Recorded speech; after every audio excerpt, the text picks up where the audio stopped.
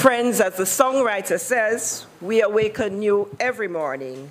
And indeed, so too is our speaker this morning, as he comes to give us words of wisdom which will guide us in writing a new script for our lives this new year. Please join me in welcoming to our podium our beloved pastor, our minister, Reverend John Scott, to begin this morning's workshop. Reverend John? Uh,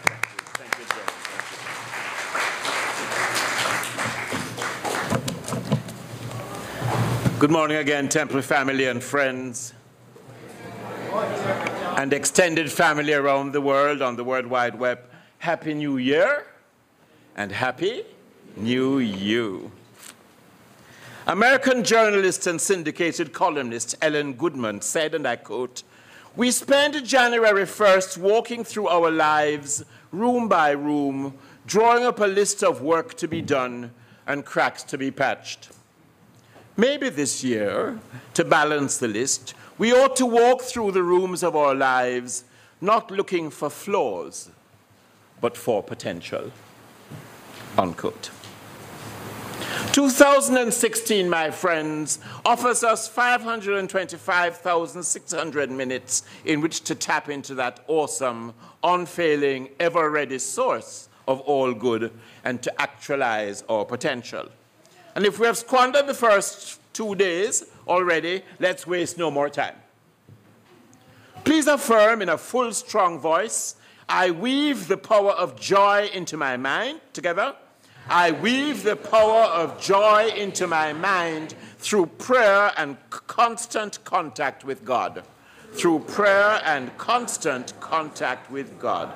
And now, in a half voice, I weave the power of love into my mind I weave the power of love into my mind through prayer and constant contact with God.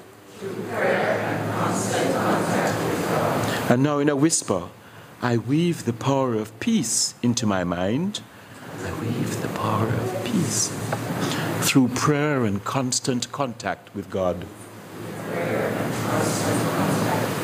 And now choose a God quality that appeals to you and silently affirm in your heart, I weave the power and name the quality into my mind through prayer and constant contact with God.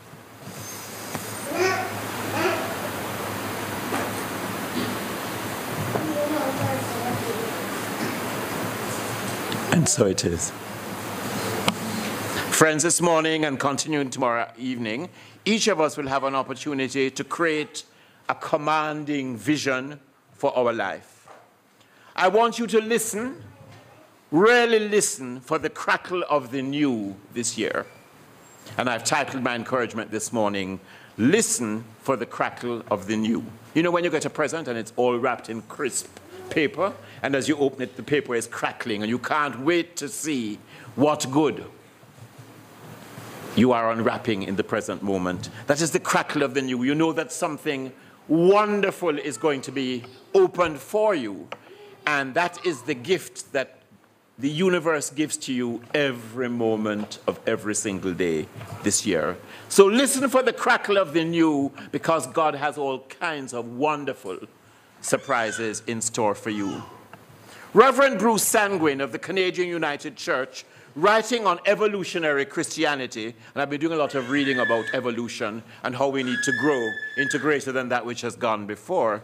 Bruce Sanguin says, and I quote, when we listen to the stirrings of our own soul and to others, we consciously suspend our preconceptions, our judgments, and our interpretations in order to create a space for the unanticipated.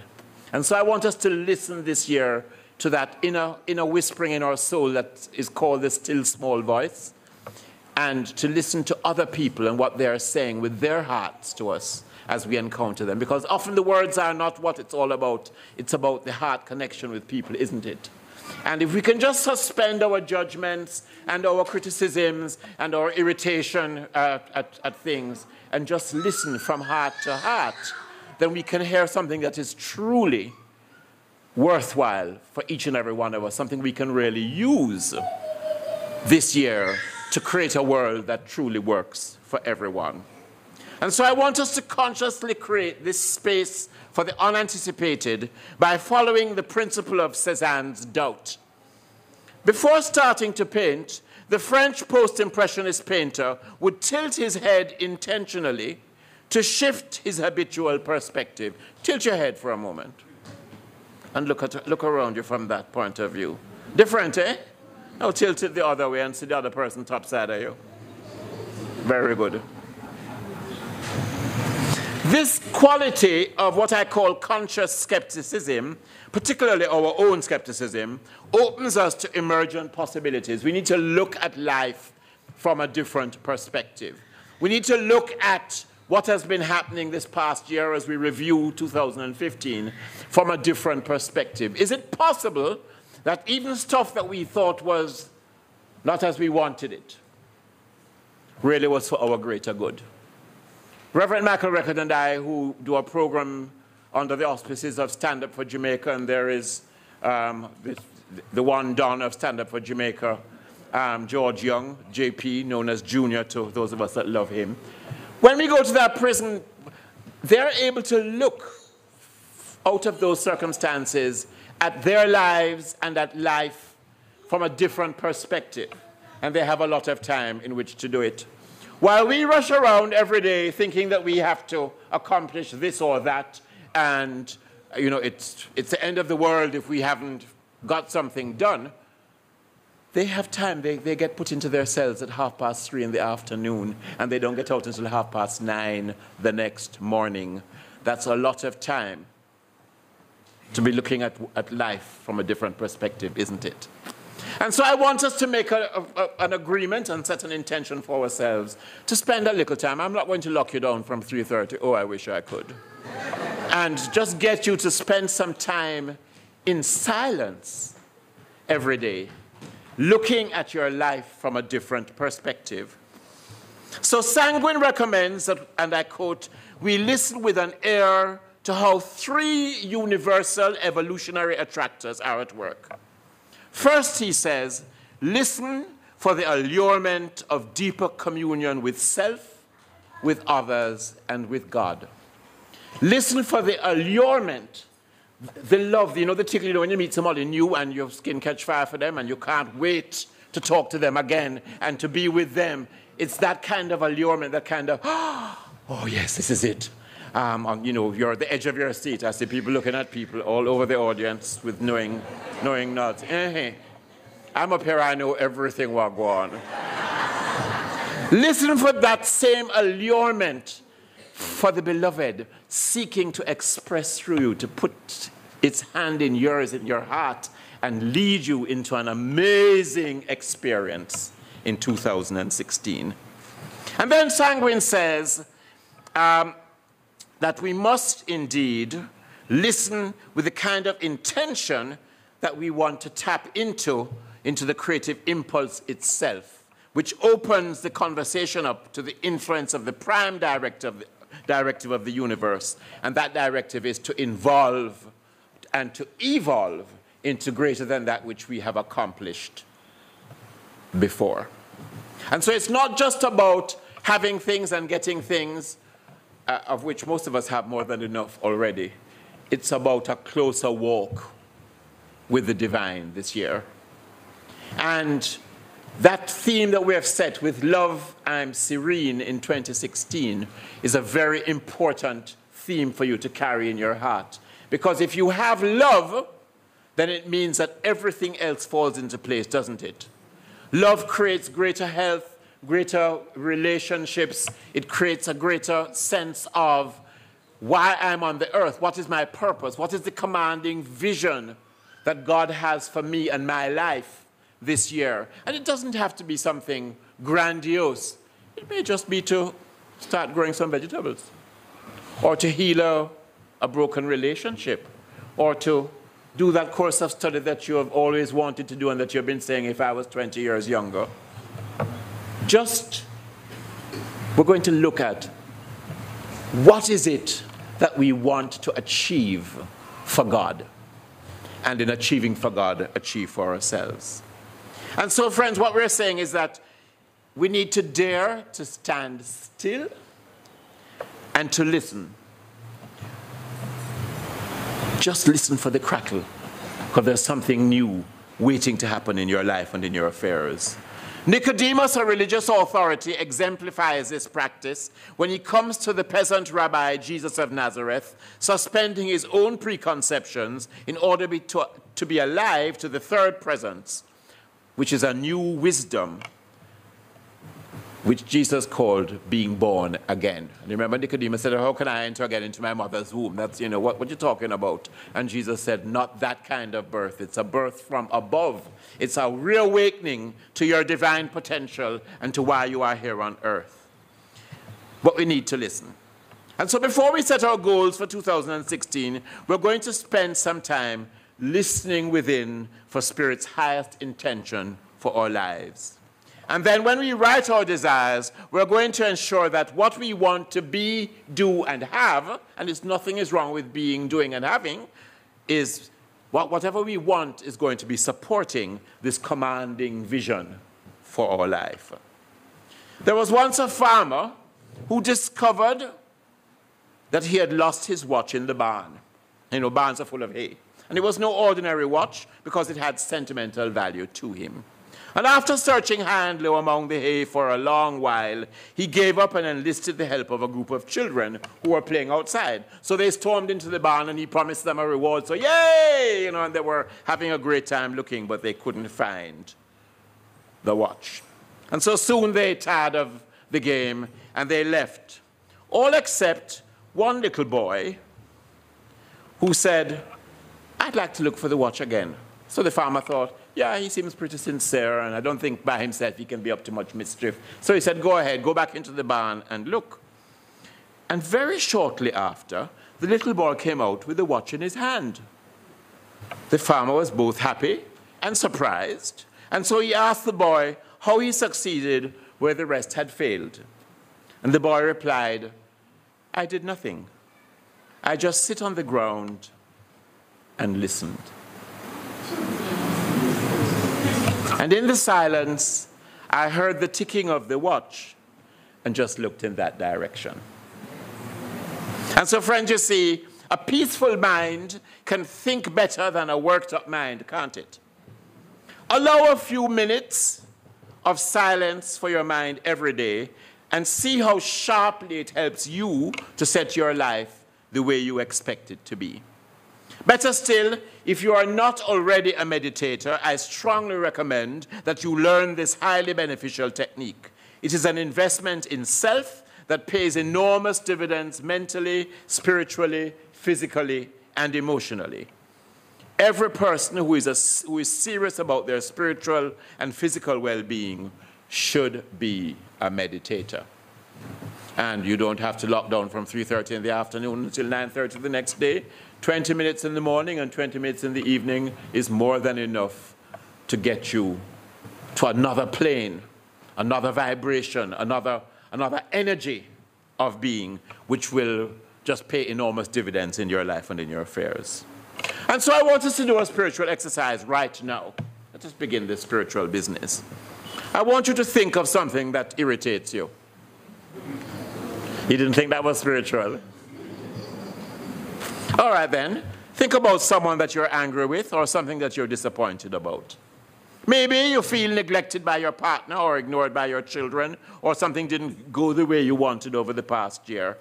And I want to suggest that all of the various things that you may be thinking about that are just flashing through your mind right now, stuff that weighs heavily upon you and which you attribute to something or someone external, is not about that person or that thing at all. As I say in Jamaica, eh, eh. then, then what? If the other person is getting, is getting to me, it's not, it's not about them. No. It's about you and what you choose to do with that information that's being, that energy that's being beamed at you. As Science of Mind students, we know that everything in our outer world is a form, is an accurate reflection of what we are believing and feeling inside. And I never forget our beloved Dr. Elmer, our founder minister, always saying, if you look in the mirror and your hair don't look good, don't comb the mirror. But you know what happens? I don't know, sometimes we, we carry all of the baggage and the old hurts and the old mistakes and, and the old feelings. And they're like, they're like barnacles on the hull of a ship. You know, they, they gather and gather, and there's these incrustations of all the favorite bad feelings that we've harbored over the years. And boy, it's hard to scrape off sometimes. So we are about the business of removing those, that tarnish, that stuff that has built up over the years and that really obscures the purity, the beauty, and the wonder of our very souls. So here is your assignment, and you have to do it today. I love it. People get out their pens and their paper. I want you to make a fearless, non judgmental, loving inventory of what you have going for you, as well as what is hindering you as far as your spiritual journey is concerned. So you're going to make an inventory. I want you to take a sheet of paper and divide it down the center, you know, in two. And on one side, the left side, I want you to write all that you have going for you in terms of your, your quest for a closer walk with the, with the divine. And on the right side of the page, I want you to write down anything that is hindering you from a closer communion with the God of your being and the God of your understanding. And I don't want you to write it in judgment. I want you just to write it you know, you know, when you're doing an inventory at home and saying, well, I don't need this, I'm going to set, throw this, this, I'm not, never going to wear this dress again, um, it will never fit. Um, just do it like that. In other words, it's not a matter of self-flagellation or, or, or, you know, beating upon yourself. Just, just on one side, write all the good stuff that you have going for you that's pushing you towards. It's like a force field analysis, pushing you towards a closer communion with that precious thing that called you into being and that is with you every minute of the day. And on the other side, what's hindering you? What's, what's preventing you from, from having that, that sense of God and I are truly one? And I want you to tear the paper in two and keep the good side and bring uh, the side that is no longer serving you to the temple tomorrow evening. And as usual, at our workshop, we'll collect them and we will send them to be burnt. Every year I've burnt impatience, but I'm burning it again this year. Fire for impatience. and then I used to be impatient of people who were impatient. How do you like that? So, be careful not to write anyone's name on your paper, on what I'm calling your release list, because this is not about anyone else. As you know, it's about you and what has been hindering your progress. Any questions? Everybody clear about that? Okay. I want to just end with a story by author James Broughton titled One Day I Decided to Quit. And I want to end with this story because I was talking to someone and I said, You're coming to the New Year's workshop? And I said, No, I can't, but every year I come and I, I, it's just not working for me. I really want out. so it's, this is for anyone listening who feels, Oh, heck, what's the use? I set goals every year and nothing ever comes my way. I'm not even going to bother to attend the workshop this year. Broughton writes, and I quote, One day I decided to quit. I quit my job, my relationship, my spirituality. I wanted to quit my life. And so I went to the woods to have one last talk with God. God, I said, can you give me one good reason not to quit? His answer surprised me. Look around, God said. Do you see the fern and the bamboo? Yes, I replied, I see the fern and bamboo. When I planted the fern and the bamboo seeds, I took very good care of them. I gave them light, I gave them water, the fern quickly grew from the earth. Its brilliant green covered the floor, yet nothing came from the bamboo seed. But I did not quit on the bamboo. In the second year, the fern grew more vibrant and plentiful and lush, and again nothing came from the bamboo seed, but I did not quit on the bamboo, God said.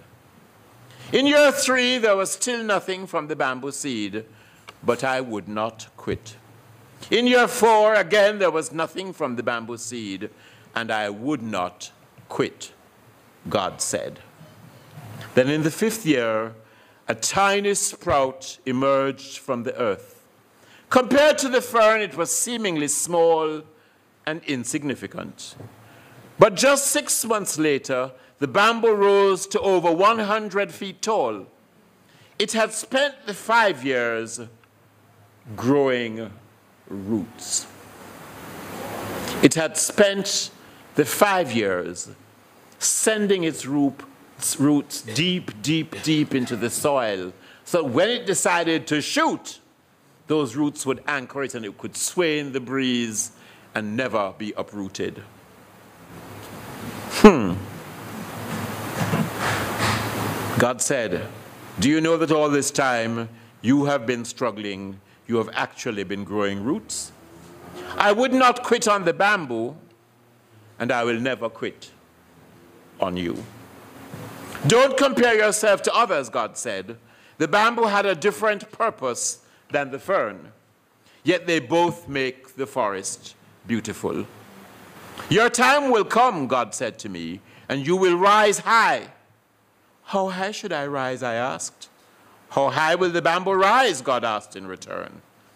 As high as it can, I answered. Yes, God said, Give me glory by rising as high as you can.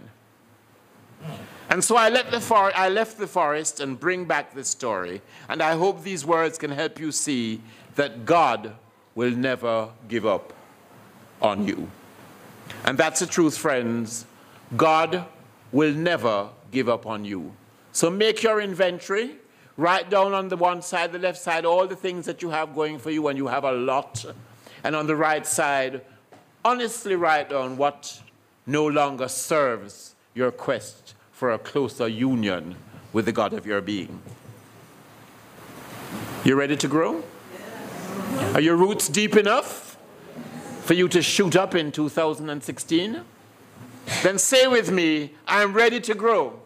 I am ready to grow. I am firmly rooted in principle. I am firmly rooted in principle. This year I will rise as high as I can to the honor and glory of God. This year I will rise as high as I can to the honor and glory of God. I'm in partnership with God. I'm in partnership with God. And God will never give up on me. To your neighbor say, God will never give up on you. Listen to the crackle of the new. God will never give up on you. Listen to the crackle of the new.